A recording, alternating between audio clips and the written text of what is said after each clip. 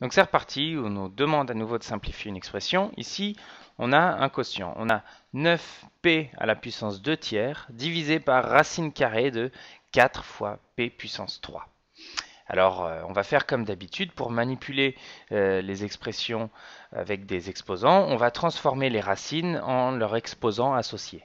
Et racine carrée, c'est la même chose que la puissance 1 demi. Donc, on va transformer racine carrée de 4 fois p puissance 3 en 4 fois p puissance 3, le tout à la puissance 1 demi. Alors je l'ai écrit ici sur le côté pour pouvoir partir directement dans la simplification à partir de cette écriture.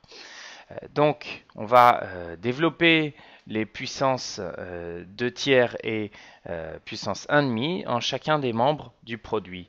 Donc, on a 9 fois p puissance 2 tiers, ça va être égal à 9 puissance 2 tiers multiplié par p puissance 2 tiers. Hein, ça c'est valable puisque on a un produit à l'intérieur de la parenthèse.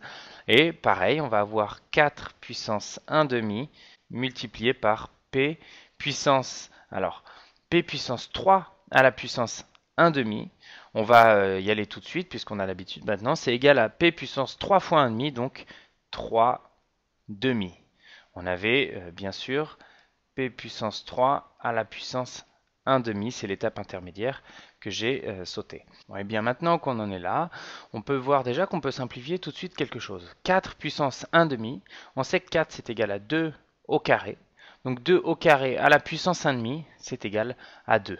4, c'est un carré parfait, c'est le carré parfait de 2, donc on peut euh, d'ores et déjà simplifier ça en 2. Et une fois qu'on a ça, mais on va essayer de réécrire notre expression en faisant, euh, en mettant tout euh, au même niveau, c'est-à-dire que on va enlever notre dénominateur et on va essayer de le mettre sur la même ligne. Donc on va utiliser pour ça des exposants négatifs. Donc on va réécrire vais réécrire 9 puissance 2 tiers. D'ailleurs, je vais les réécrire autrement. Je vais écrire 9 puissance 2 tiers, c'est égal à 9 au carré à la puissance 1 tiers. Je vais décomposer euh, l'exposant 2 tiers. Par contre, je vais garder mon P puissance 2 tiers, puisqu'il me sera utile après. Euh, et maintenant, pour ce qui avait euh, en dessous du trait de fraction, j'ai ici 1 demi. Je vais, rester sous la forme de 1 demi. Mais maintenant, pour p puissance 3 demi. Comme en fait j'ai 1 divisé par p puissance 3 demi, bien ça c'est tout simplement égal à p puissance moins 3 demi. Hein. Et ça on le sait parce qu'on connaît la définition de l'exposant négatif. Donc on a cette euh, grosse expression et on va pouvoir continuer à la simplifier. Alors si on s'intéresse à la partie numérique, 9 au carré, 9 au carré ici c'est égal à 81, 9 fois 9, 81, et encore une fois à la puissance 1 tiers, donc c'est la racine cubique de 81, et on va multiplier par 1 demi. Maintenant, pour les p, on va avoir p puissance 2 tiers multiplié par p puissance moins 3 demi. J'y vais vraiment étape par étape hein, pour vraiment bien comprendre. Et en fait, euh, comme on a un produit de deux puissances de même base avec deux exposants différents, on va pouvoir avoir euh, la puissance de cette même base avec la somme des exposants. Donc ça, ça c'est égal à P puissance 2 tiers moins 3 demi.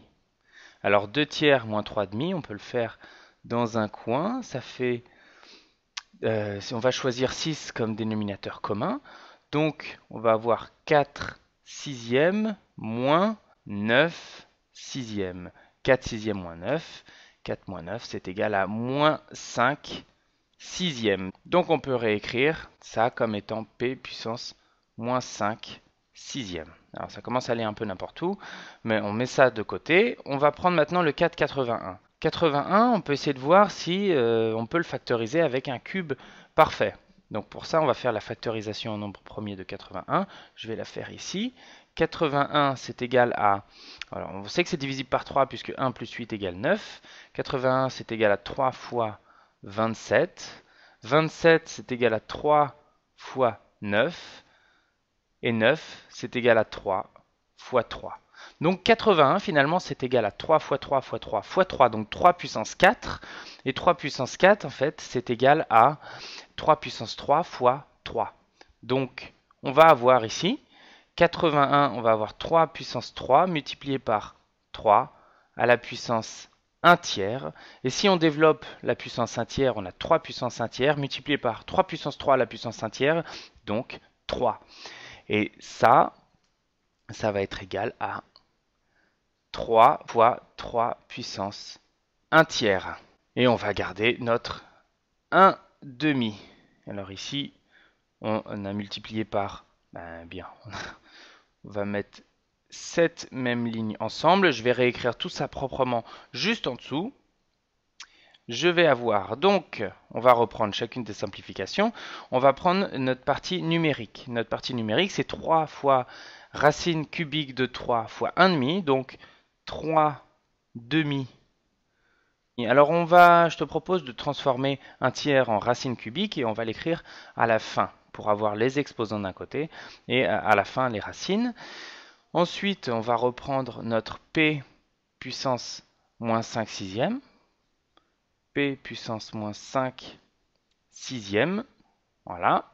Et on va multiplier ça par notre dernière partie. On a racine cubique de 3. Et ça, finalement, c'est la plus grande simplification qu'on pourrait faire. Alors finalement, tu vois, peut-être que le but du jeu, c'est euh, de bien sûr pas se tromper en ayant un brouillon un petit peu compliqué, toujours réussir à ne pas perdre des facteurs, des membres de notre expression en chemin.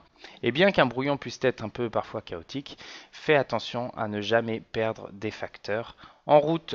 Donc voilà une simplification possible de cette expression. Tu pourrais euh, vouloir encore simplifier plus en écrivant avec des valeurs approchées les parties numériques et trouver et, euh, et avoir un facteur ici numérique décimal. Ici, on préfère avoir euh, les valeurs exactes.